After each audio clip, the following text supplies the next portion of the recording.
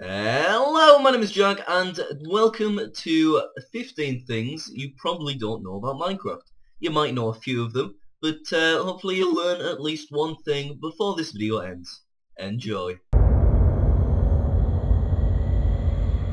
You can hide secret messages using layered snow and full snow blocks.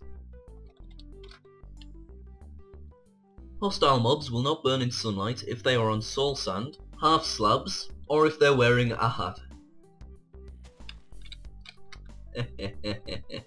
you can breed chickens together with pumpkin seeds.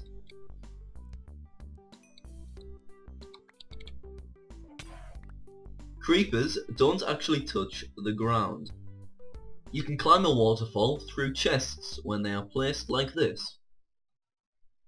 Pressing F3 plus B shows hitboxes.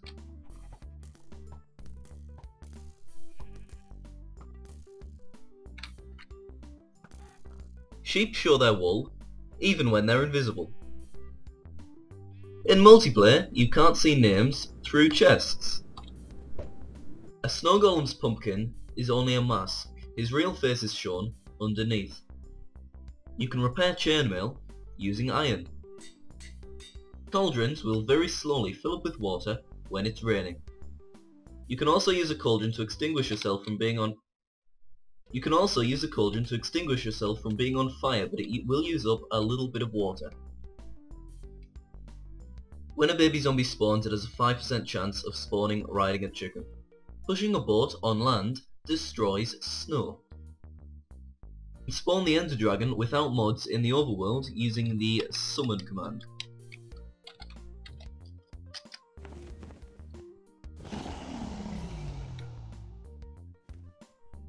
So there we go guys, that is 15 things you probably didn't know about Minecraft. I imagine some of you knew a few of them, but let me know which ones you didn't know in the comments and also if you have any other fun facts which you want to tell me about Minecraft, post them down below.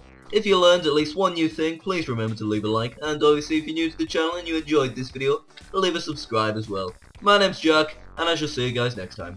Bye!